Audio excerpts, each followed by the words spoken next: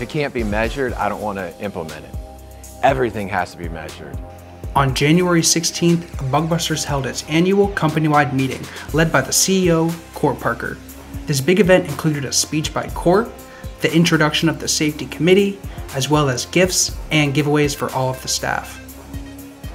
Court also recapped the major events of the year. We got a new Xerox machine.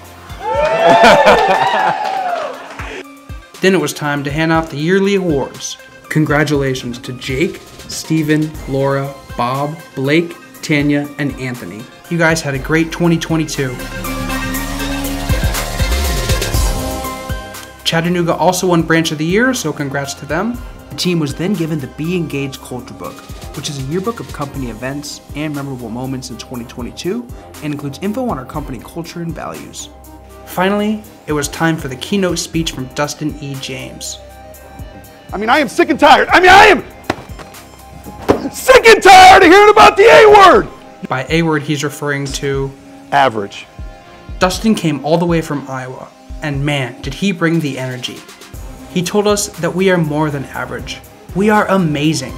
He showed us that it's acceptable, even encouraged, to tell ourselves and each other how amazing we are every day. And that was the 2023 Bug Busters company wide meeting.